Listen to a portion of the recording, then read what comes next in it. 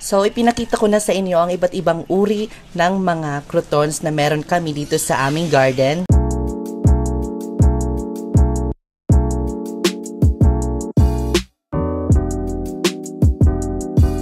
So in this episode mga ka-jungle ipapakita ko sa inyo ang iba't ibang uri ng crotons or variety na meron kami dito sa aming garden.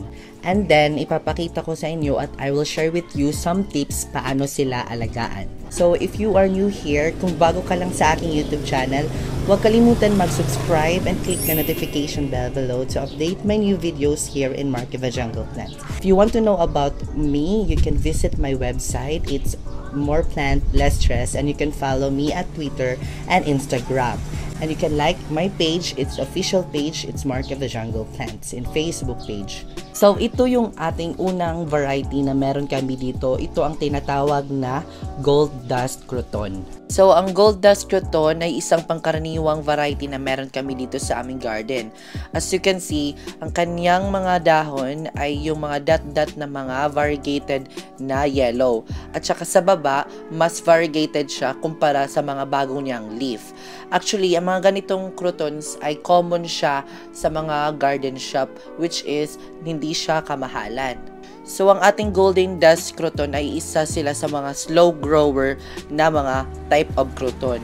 Dahil siguro nga sa kanilang dahon na maninipis at saka yung maliliit lang, hindi katulad na malalaking dahon ng ilang crotons na variety. So kaya pala sila tinawag mga ka-jungle na golden dust croton dahil sa kanilang mga dahon na kumikintab na parang ginto. At saka kung mapapansin nyo ang ating mga golden dust, yung mga dahon niya ay pareho sila ng dahon ng kalamansi. As you can see, hindi siya kalakihan, hindi katulad ng ibang variety ng mga crotons. So ang ating next variety ay yung ating oak leaf croton. So, yung ating mga oak leaf crotons ay nagproduce sila ng malalaking dahon. And as you can see, ang shape ng dahon nila ay hugis pahaba na medyo parang mangga ang hugis. Tapos, nagproduce din ang crotons na oak leaf natin yung mga dot-dot na variegation. At kapag nagiging matured na ang kanilang dahon, lumalabas ng kanilang uh, magandang kulay like nagiging maroon na sila or nagiging color pula yung kanilang mga dahon. At lalo na kapag nilalagay sila sa direct light dahil gusto nila na naaarawan sila kapag mga variegated na mga crotons dahil uh, lumalabas talaga ang kulay nito. So as you can see mga ka-jungle, yung aking oak leaf na croton ay hindi siya masyadong uh, variegated dahil nakalagay lang siya sa medyo shady area. So, kung meron kayo ganitong crotons, dapat nakalagay siya sa direct light or naaarawan sila. So, ito naman ang tinatawag natin na dreadlocks croton. So, yung ating dreadlocks croton ay hindi pangkaraniwan na crotons na makikita nyo na variety doon sa mga plant shop o sa mga garden. Dahil sa kanilang mga dahon na kakaiba, na pahaba pero nagtwist-twist ang kanyang mga dahon. As you can see mga ka-jungle, ang ganda diba? So, kulay yellow. May iba't ibang uh, kulay yung mga dreadlocks na croton. So, kakaiba sila sa mga uh, natural lang na crotons dahil ito ay yung mas mabilis sa plant shop o mas kilala bilang uh, bestseller sa crotons. So yung pag-aalaga ko dito sa aking dreadlocks croton ay nilalagay ko talaga sila sa direct sunlight kasi yung ating mga croton ay need ng direct sunlight dahil sila ay mga outdoor plant. So as you can see mga channel, kapag meron kayo nito, mas gaganda pa ito kapag nilalagay nyo sila sa perfect spot o sa perfect place dahil nagbubushi talaga. Kasi kapag magbushi sila, ang ganda ng shape ng mga dahon at parang para silang chandelier na nagpapaganda sa inyong garden. So ang next variety natin na very common ng mga crotons or San Francisco ay itong ating Eleanor Roosevelt croton.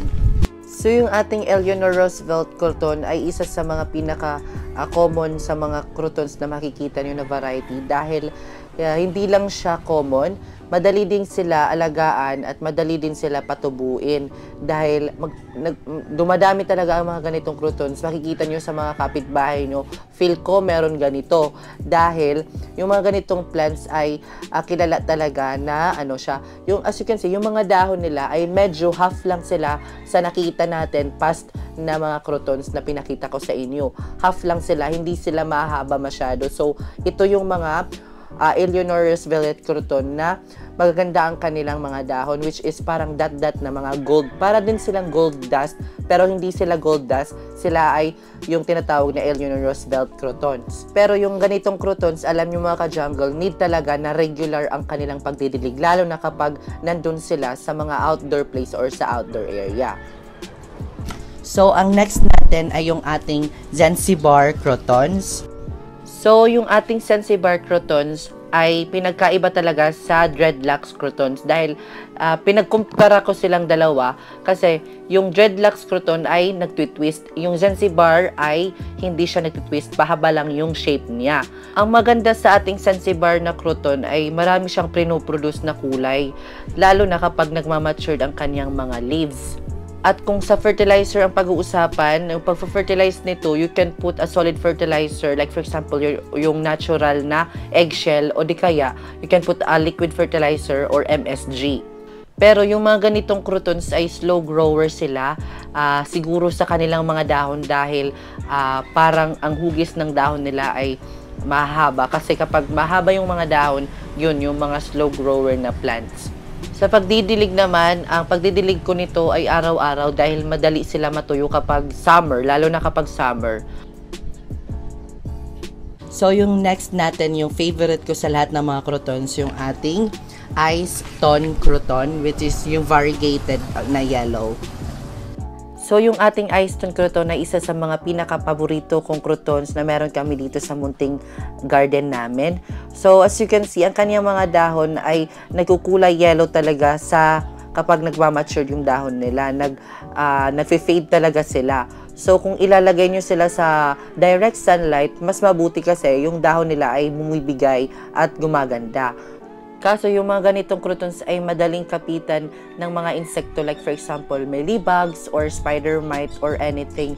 Uh, kaya nililinisan ko ang mga dahon ng mga ganitong plants. Uh, slow grower din sila sa pagdating sa pag-grow at saka at saka when it comes to propagation, you can do cuttings or di kaya yung sinasabi nila na markot. So, mabili talaga ito sa plant shop pero medyo may kamahalan dahil sa kanilang mga dahon na magaganda. So, binibili siya dahil sa mga kanilang dahon na magaganda na kulay yellow talaga.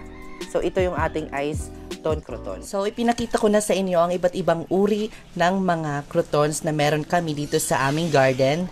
I hope na nagustuhan nyo ang mga video na ito and I hope don't forget to subscribe and click the notification bell below to update my new videos here in Mark of a Jungle Plants because more plant, less stress.